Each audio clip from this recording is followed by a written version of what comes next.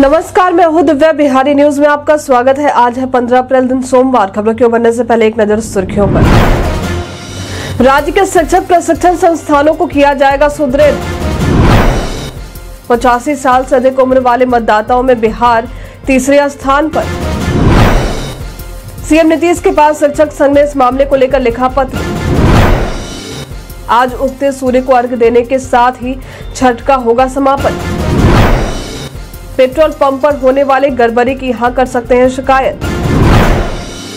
आज होगा आरसीबी और एसआरएच के बीच आईपीएल का तीसवा मुकाबला। अब चले बढ़ते हैं बिहार के अब तक के 25 बड़ी खबरों की ओर विस्तार से।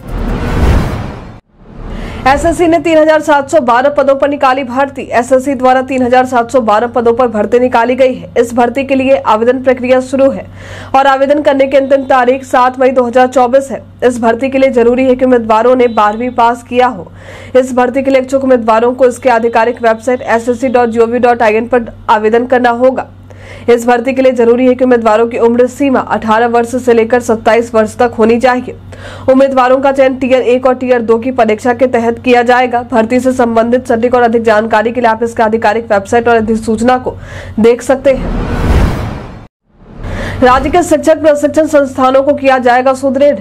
शिक्षा विभाग शिक्षकों को नियमित रूप से बेहतरीन प्रशिक्षण की व्यवस्था करेगा। इसको लेकर विभाग ने निर्णय लिया है कि राज्य के शिक्षक प्रशिक्षण संस्थानों को सुदृढ़ करेगा। इसके लिए वित्तीय वर्ष 2024-25 के लिए 215 करोड़ खर्च करने की स्वीकृति दी गई है। विभाग ने जारी आदेश में कहा है कि शिक्षकों के आवासीय और गैर आवासीय प्रशिक्षण में गुणवत्ता का विशेष ध्यान रखना है। इसके लिए ज़रूरी है कि प्रशिक्षण संस्थानों की आधारभूत संरचना विकसित हो। संस्थानों में आधारभूत संरचनाओं के विकास, निर्माण जीर्णोद्वार के साथ ही तकनीकी सेवाओं के विकास के लिए उक्त राशि स्वीकृत की गई है। बिहारी पहचान में आज हम बात करेंगे दशरथ मांझी के बारे में। दशरथ मांझी का जन्म 14 जनवरी वर्ष उन्नीस में बिहार के गहलोर में हुआ था। लोग इन्हें माउंटेन मैन के नाम से भी जानते हैं। ये एक गरीब मजदूर थे। इनकी पत्नी का नाम फाल्गुनी देवी था। जब फाल्गुनी दशरथ मांझी के लिए खाना ले जा रही थी तो दर्रे में गिर गई और दवाई के अभाव में उनका निधन हो गया, क्योंकि बाज़ार दूर था और पहाड़ी रास्तों को पार करते हुए बाज़ार पहुँचा जा सकता था। कभी किसी और के साथ ऐसी दुर्घटना ना हो और अपनी पत्नी के इस कष्टदायी निधन से शोक में आए मांझी ने केवल एक हथौड़ी और छेनी से अकेले ही 360 फुट लंबे और 30 फुट चौड़े व 25 फुट ऊँचे पहाड़ को काट के सड़क बना दिया।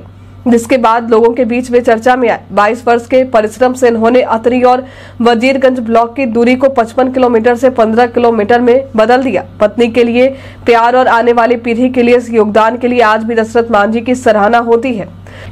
17 अगस्त वर्ष 2007 में ये हमें अलविदा कह गए। पचासी साल से अधिक उम्र वाले मतदाताओं में बिहार तीसरे स्थान पर एक आंकड़े से पता चला है कि देश में पचासी साल से अधिक उम्र वाले मतदाताओं में बिहार तीसरे नंबर पर है। तो वहीं 40 प्रतिशत से अधिक दिव्यांग मतदाताओं में बिहार दूसरे नंबर पर है। आपको बता दें कि महाराष्ट्र में पचासी साल से अधिक उम्र वाले मतदाताओं की संख्या सबसे अधिक है और इसके साथ ही महाराष्ट्र पहले स्थान पर है। तो वहीं उत्तर प्रदेश इस मामले में दूसरे नंबर पर आता है। मिली जानकारी के मुताबिक पचासी साल से अधिक उम्र वाले वोटरों में महिलाओं की संख्या अधिक है। तो ऐसे में वे घर बैठे भी मतदान कर सकते हैं। घर से मतदान करने के लिए इन्हें बीएलओ के माध्यम से आवेदन फॉर्म भेजा जा रहा है। उसके बाद वे पोस्टल बैलेट के माध्यम से मतदान कर पाएँगे। हालाँकि इनमें से जो मतदाता मतदान बूथ पर जाकर मतदान करना चाहे, वो वहाँ जा सकते हैं। पेट्रोल पंप पर होने वाले गड़बड़ी की यहाँ कर सकते हैं शिकायत। बाइक या गाड़ी चलाने वाले हमें से कई लोग हैं जो जो भी पेट्रोल और डीजल वाले वाहन चलाते हैं, उन्हें गाड़ी में तेल भरवाने के लिए समय समय पर पेट्रोल पंप जाना पड़ता है। लेकिन कई बार पेट्रोल पंप पर गड़बड़ी या लापरवाही की खबर भी सामने आती है, जिसके तहत आपको चकमा देकर आपकी गाड़ी में कम तेल डाल दिया जाता है। ऐसे में हमें सावधान रहने की ज़रूरत है। लेकिन कभी भी आपको इस बात पर शक हो कि जितने पेट्रोल या डीजल आपको चाहिए थे उससे आपको कम ही मिले हैं। तो ऐसी स्थिति में आप शिकायत भी कर सकते हैं। इस तरह की गड़बड़ी होने पर आप पेट्रोलियम मिनिस्ट्री के हेल्पलाइन नंबर एक आठ शून्य शून्य दो तीन तीन तीन पाँच पाँच पाँच पर शिकायत कर सकते हैं। अगर आपकी शिकायत सही पाई जाती है तो पेट्रोल पंप मालिक पर सख्त कार्रवाई के तहत उनके लाइसेंस को भी रद्द किया जा सकता है। क्या आपके साथ पेट्रोल पंप पर इस तरह का मामला हुआ है? हमें कमेंट करके ज़रूर बताएँ। रिकॉर्ड संख्या में जनता मांग रही रोज़गार। सात लाख से अधिक स्टूडेंट्स ने कराया रजिस्ट्रेशन बीते इकतीस मार्च को समाप्त हुए वित्तीय वर्ष में बिहार में रिकॉर्ड संख्या में बेरोजगारों ने रोज़गार के लिए निबंधन कराया है। नेशनल करियर सर्विस यानी कि एनसीएस पोर्टल पर वित्तीय वर्ष दो हज़ार में सात लाख उनचालीस हज़ार चार सौ बिरानवे लोगों ने निबंधन कराए हैं। ये अब तक के वर्षों में सबसे अधिक है। राज्य या केंद्र की ओर से लगाए जाने वाले रोज़गार मेले में भाग लेने वाले बेरोजगारों के लिए एनसीएस पोर्टल पर निबंधन ज़रूरी होता है। वित्तीय वर्ष 2015-16 से ऑनलाइन निबंधन की प्रक्रिया जारी है। जिलावार आंकड़ा देखें तो पटना में सबसे अधिक बेरोजगार है। पटना के उनचालीस लोगों ने रोज़गार के लिए निबंधन कराए हैं। दूसरे पायदार पर समस्तीपुर है, जहाँ उनचालीस लोगों ने निबंधन कराए हैं। आज उगते सूर्य को अर्घ्य देने के साथ ही छठ का होगा समापन। आज चैती छठ का चौथा दिन है। आज उगते सूर्य भगवान को अर्घ्य देने के साथ ही छठ जैसे महापर्व का समापन होगा। बता दें कि इस दौरान व्रति भगवान सूर्य को अर्घ्य देने के साथ ही पूजा अर्चना करेंगे। मालूम हो कि नहाय खाई के साथ चैती छठ की शुरुआत हुई थी। प्रसाद के रूप में छठी मैया और भगवान भास्कर को मुख्य रूप से ठेकुआ और कई फल चढ़ाए जाते हैं। छठ को लेकर प्रदेश में कई जगहों पर एक अलग ही माहौल देखने को मिल रहा था। आज छठ के समापन के साथ ही व्रती लंबे उपवास को तोड़कर पारण करेंगे। बिहार पैटर्न में आज हम बात करेंगे श्री कृष्ण विज्ञान केंद्र के बारे में। श्री कृष्ण विज्ञान केंद्र बिहार की राजधानी पटना में गांधी मैदान के पास स्थित है। इसकी स्थापना वर्ष उन्नीस सौ अठहत्तर को हुई थी। इसका नाम बिहार के पहले मुख्यमंत्री श्री कृष्ण सिंह के नाम पर रखा गया है। इस विज्ञान केंद्र में आपको कई अद्भुत चीज़ें देखने को मिल जाएँगी। जिसमें डायनासोर की कृत्रिम संरचना सबसे खास है। इसे देखकर बच्चे काफ़ी आकर्षित भी होते हैं। यह स्कूली बच्चों को खासकर विज्ञान से संबंधित कई चीज़ें देखने को और सीखने को मिलती हैं। अगर आप भी कहीं घूमने का प्लान बना रहे हैं तो यहाँ आ सकते हैं। डॉक्टर का सपना देख रहे हिंदी छात्रों को भी बिहार सरकार देगी खुशखबरी। स्वास्थ्य विभाग ने बिहार में डॉक्टर बनने का सपना देख रहे हिंदी छात्रों के लिए बड़ी पहल की है। दरअसल, स्वास्थ्य विभाग ने निर्णय लिया है कि बिहार में अब मेडिकल की पढ़ाई हिंदी में होगी। इस संबंध में स्वास्थ्य मंत्री मंगल पांडे ने विभाग की समीक्षा की है। साथ ही अधिकारियों को इस दिशा में काम करने के सुझाव भी दिए हैं। आपको बता दें कि बिहार में ये पहल मध्य प्रदेश के मेडिकल कॉलेजों को देखकर उठाया गया है। दरअसल मध्य प्रदेश के मेडिकल कॉलेज में भी एमबीबीएस की पढ़ाई हिंदी में हो रही है। मेडिकल की पढ़ाई अब हिंदी में करवाई जाएगी।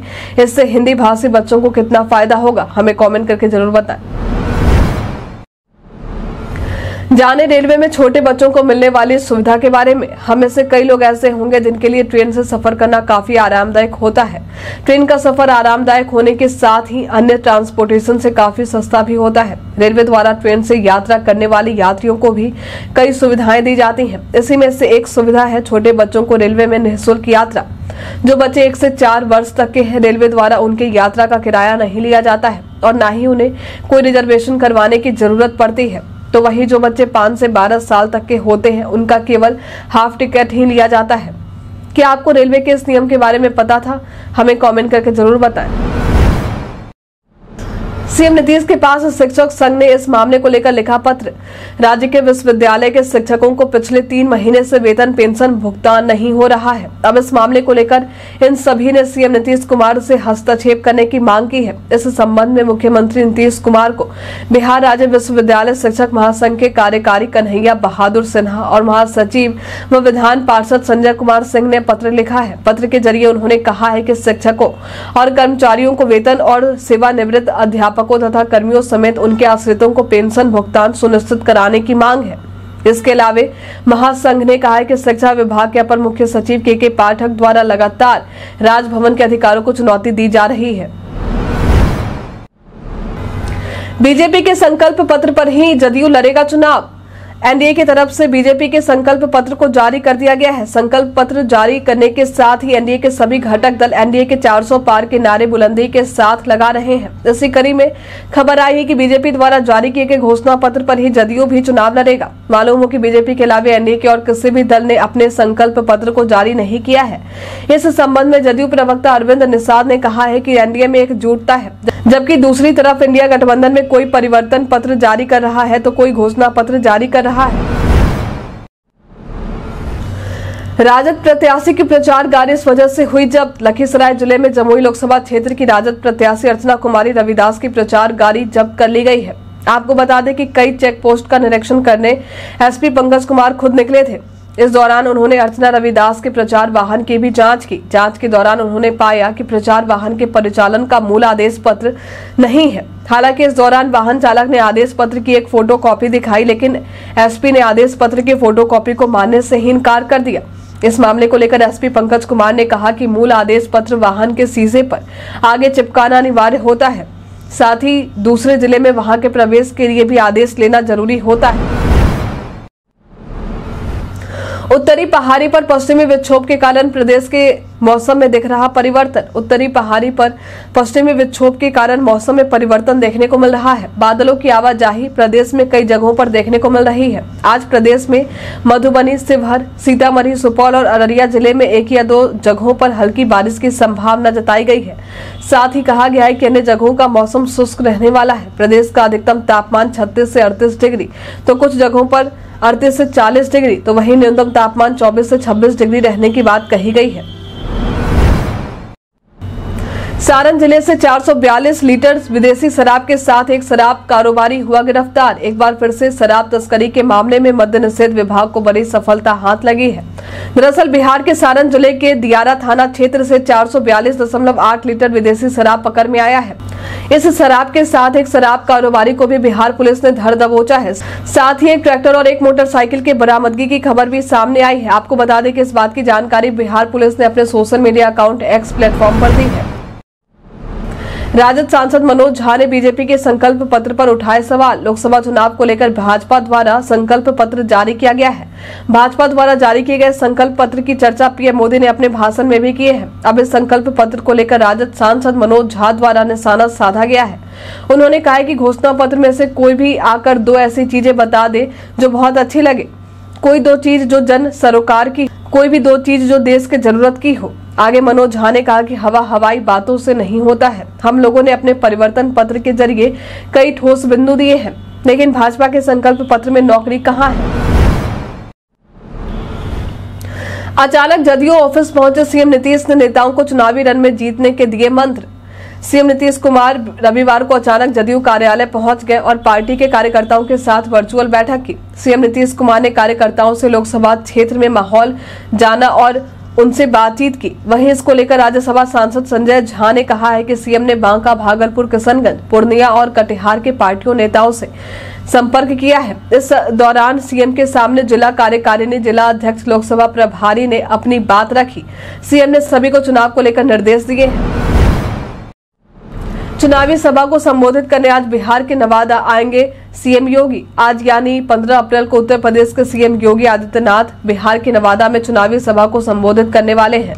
यहाँ सीएम योगी, एनडीए के बीजेपी उम्मीदवार डॉक्टर विवेक ठाकुर से के लिए वोट मांगेंगे। आपको बता दें कि नवादा में सीएम योगी की ये जनसभा अकबरपुर प्रखंड के फतेहपुर मोड़ स्थित डीही आहर मैदान में आयोजित होने वाली है। नवादा आकर सीएम योगी बीजेपी के एजेंडे की चर्चा करेंगे, साथ ही एनडीए के 400 पार की अपील भी बिहार की जनता से करेंगे। बीजेपी द्वारा बताया जा रहा है कि सीएम योगी के जनसभा में शामिल होने दूर दूर से लोग आने वाले हैं।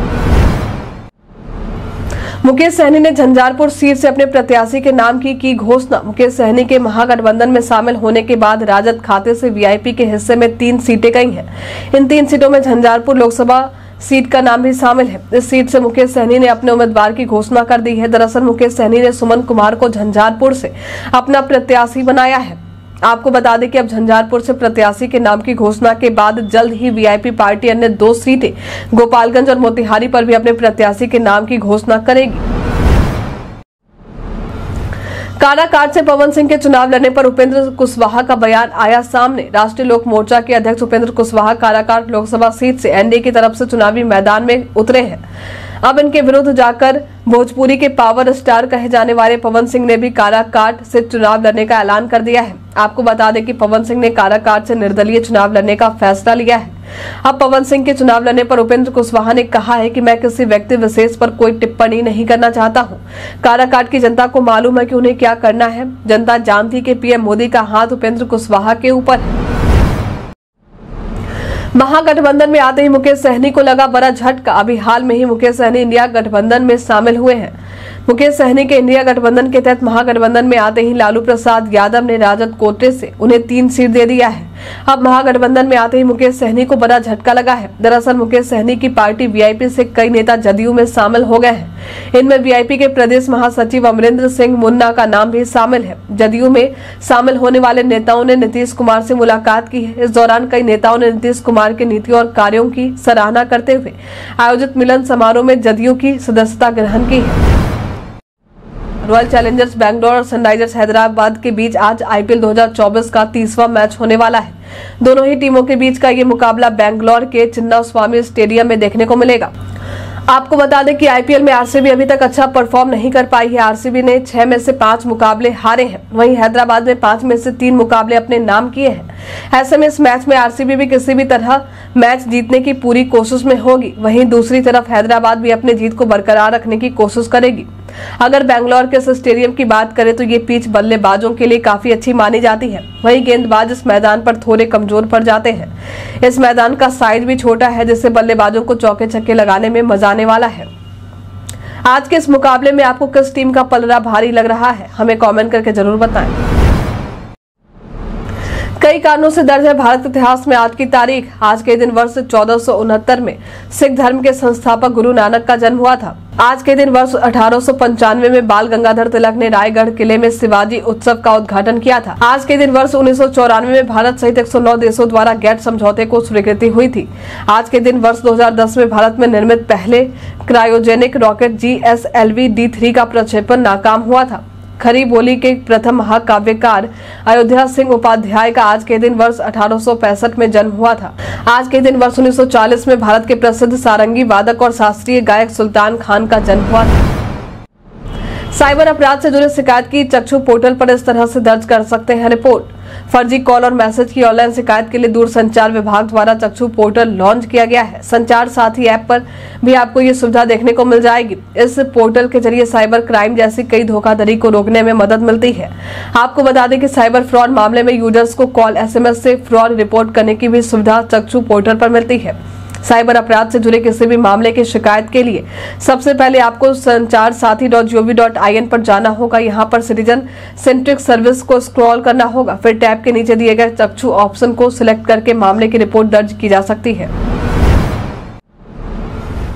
सीबीएसई नए सत्र के बच्चों को लंच ब्रेक के साथ मिलेगा स्नैक्स ब्रेक। सीबीएसई में नए सत्र के बच्चों को कुछ अलग अनुभव करवाने के लिए सीबीएसई बोर्ड द्वारा कई तरह के कार्यक्रम तैयार किए गए इस कार्यक्रम के तहत बच्चों को लंच ब्रेक के साथ साथ अब स्नैक ब्रेक भी दिया जाएगा। आपको बता दें कि कक्षा तीन और छह के लिए सीबीएसई द्वारा ब्रिज कोर्स जारी किया गया है। इस ब्रिज कोर्स के तहत बच्चों को 45 मिनट का लंच ब्रेक तो दिया ही जाएगा, साथ ही दो से तीन पीरियड के बाद बच्चों को 15 मिनट के लिए स्नैक्स ब्रेक भी मिलेगा। बच्चों को कैसे पढ़ाया जाएगा, इसे लेकर हर विषय के लिए घंटे और पीरियड सीबीएसई द्वारा नए पाठ्यक्रम में तय हुए हैं। इन सब के अलावे, इन दोनों ही कक्षा में शनिवार को किताबी पढ़ाई नहीं होगी। किताबी पढ़ाई की जगह बच्चों को एक्टिविटी करवाई जाएगी। हम प्रतिदिन आपसे पाँच ऐसे ज़रूरी सवाल पूछेंगे और उसका जवाब बताएँगे जो कि बीपीएससी, बिहार पुलिस, दरोगा समेत एसएससी जैसी अन्य प्रतियोगी परीक्षाओं में काम आएँगे। सवाल इतिहास, बिहार स्पेशल विज्ञान, करंट अफेयर्स और भूगोल से रहेंगे। पूछे गए पाँच सवालों में आपने कितना सही उत्तर दिया ये हमें कॉमेंट करके ज़रूर बताएँ। तो हमारा पहला सवाल है, भारत ने मॉरिशस के किस द्वीप में हवाई पट्टी का निर्माण कराया है, जिसका हाल ही में पीएम मोदी ने शुभारंभ किया है? ऑप्शन ए है अगालेगा, ऑप्शन बी है ग्रेबियर, ऑप्शन सी है हर्मिटेज, ऑप्शन डी में से कोई नहीं। इसका संयुक्त रहेगा लेगा।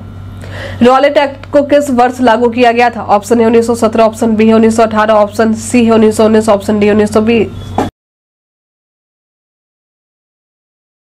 इसका संयुक्त है उन्नीस भारत में ब्लू सिटी के नाम से किस शहर को जाना जाता है? ऑप्शन ए है रायपुर, ऑप्शन बी है जयपुर, ऑप्शन सी है उदयपुर, ऑप्शन डी है जोधपुर।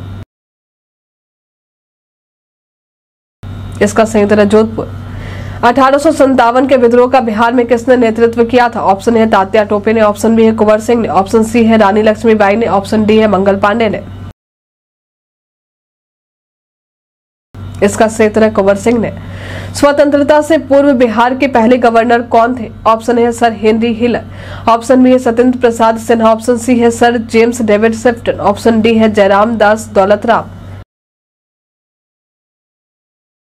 इसका संयुक्त ने सर जेम्स डेविड सेप्टन बीते दिन हमारे द्वारा पूछे गए सवाल का आप लोगों में से बहुत सारे लोगों ने अपना जवाब हमें हमारे कमेंट सेक्शन बॉक्स में लिख कर दिया था, जिन्होंने हमारे द्वारा पूछे गए सवाल का जवाब दिया उनके नाम है। संजय कुमार शर्मा गुनर शर्मा, राजीव कुमार, रंजीत मिश्रा, नुन्नू गोलू कुमार, शोभानंद ठाकुर, रवि कुमार राम, कृष्णा प्रसाद, नीतीश पटेल, राजीव कुमार, पंकज कुमार दास, पवन सिंह, मनोज साहू, मोहम्मद साकिर हुसैन, अतीक खान, विजेंद्र सिंह, नीतीश पटेल, नंद कुमार सिंह। इसके साथ ही बढ़ते आज के सवाल की और आज का सवाल है।